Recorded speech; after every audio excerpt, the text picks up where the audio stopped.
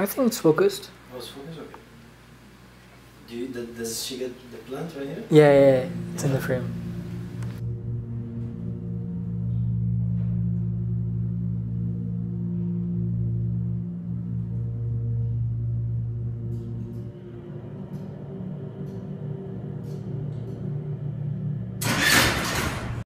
My name is Souheil Benslimane.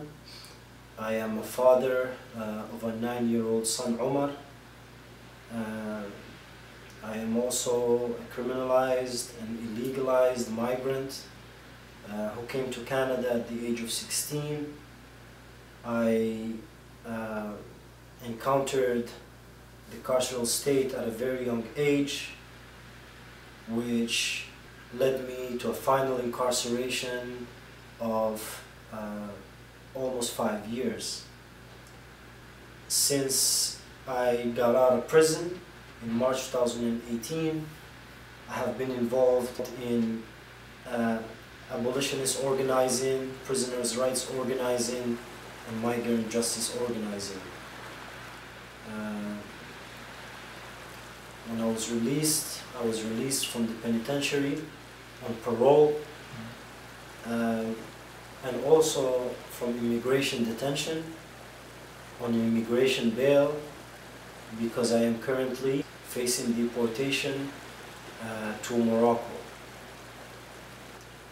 Um, when I was released, uh, I was released under conditions from uh, Canada Parole Board and also released under conditions from uh, Immigration Canada.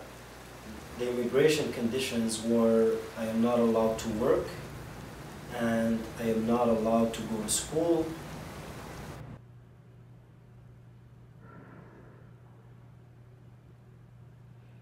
There's this old saying that we always say is uh, do the crime, do the time. So people who are locked up, who are criminalized, say this do the crime, do the time. What does that mean?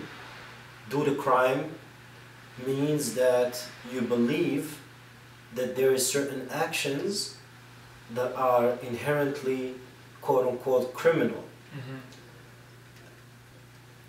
You become someone who see yourself as abnormal, as pathological, as uh, deviant.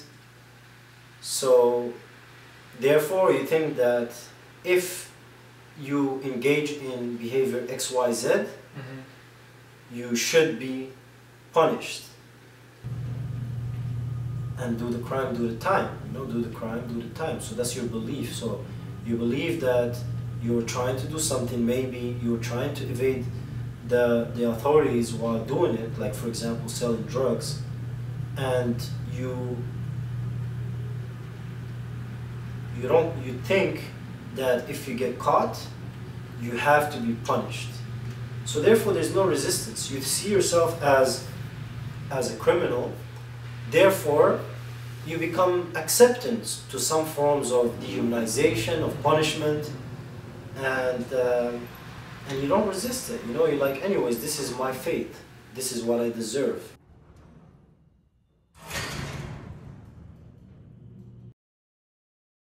There were other prisoners who would say things like, well, you know what, like, fuck the system, you know, like, we all didn't like the system. However, some people would say things that are pretty much very, very critical of the carceral state, like, um, I'm selling drugs, why should I be punished for that when pharmaceutical companies are making multi, you know, multi-billion dollars a year from the sale uh, and the trade of drugs because their sale and their trade was legitimized by the state and other factors. And we we were punished for doing the same thing you know so for selling drugs. And uh, some folks will hold very very critical uh, uh, you know critical ideas about about the state about criminalization uh, some people thought of the jail as as not being a solution. We all felt it. We all felt that it is not a solution. However, um, some people verbalize those things, and often people who hold those discourses become dismissed by their their own their own peers uh, because of those internalized ideas, right? We didn't resist much, and the other reason why we didn't resist is cost benefit calculations. And we were at risk of violence every day, uh, withholding medication, withholding food, uh, putting you, uh, uh, uh, um, forcing you into, into segregation or solitary confinement.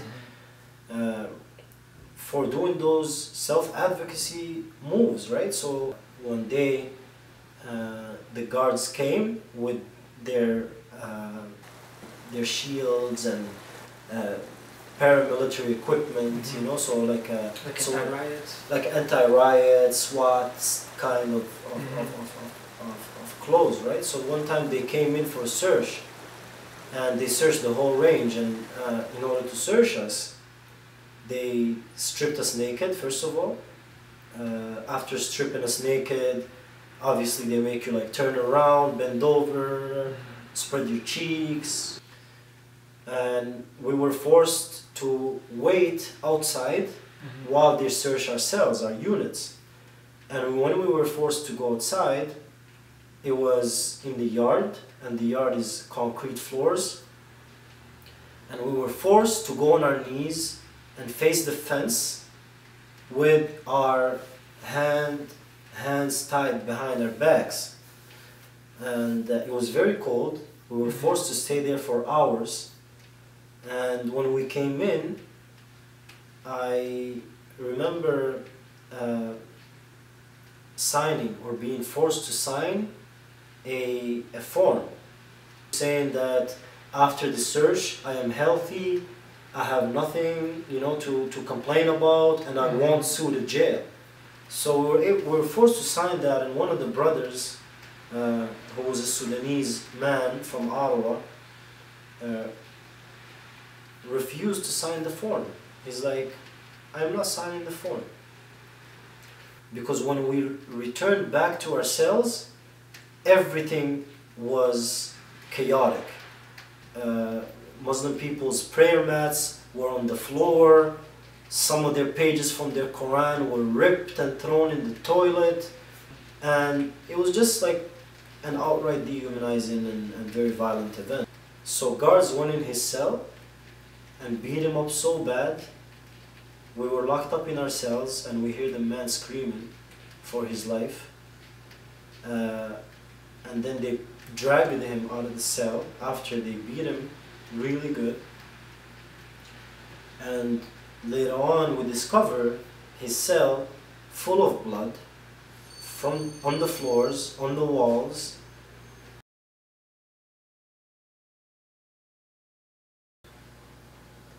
As someone who has seen far too many people suffer and die at the hands of the carceral state, my journey towards abolitionism was perhaps inevitable. My, my abolitionist thinking began to develop from the time I came into contact with systems of oppression which imbricated and pressed their mighty weight on my shoulders that I continue to bear. I am at war with the carceral state in response to the violence of racial capitalism, which feeds on the blood and pains of prisoners, extracting time from life of human beings in an ongoing effort to keep money on the move. Although I am wounded and my body and soul are bleeding, organizing against the carceral beast allows me to acquire knowledge that one can only gather by looking at its entrails. Personal encounters with the carceral oppression are the foundation of my transformation from a docile body into abolitionist thought and praxis. This issue is a matter of life and death.